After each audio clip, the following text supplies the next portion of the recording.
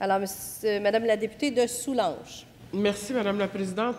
Nous semblons avoir le même état euh, physique, alors je suis certaine que vous comprendrez euh, ma difficulté d'élocution ce matin.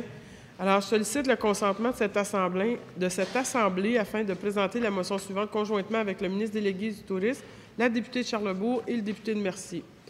Que l'Assemblée nationale souligne la Journée mondiale du tourisme, célébrée depuis 1980 à l'initiative de l'Organisation mondiale du tourisme, c'est la date du 27 septembre qui a été retenue, marquant ainsi l'anniversaire de l'adoption des statuts de l'Organisation mondiale du tourisme en 1970. Qu'elle reconnaisse cette occasion de prendre conscience de l'importance du tourisme du point de vue social, culturel, économique, qu'elle félicite tout particulièrement les acteurs du milieu, ce qui représente 30 000 entreprises et quelques 400 000 emplois à travers la province, qu'elle fasse ressortir la, la part essentielle de l'industrie touristique au développement économique du Québec. Merci. Est-ce qu'il y a consentement pour débattre de cette motion? Madame la Présidente, afin d'être certain du libellé exact, est-ce que la députée Toulange pourrait peut-être... Non? D'accord. Alors, il y a consentement sans débat pour la motion.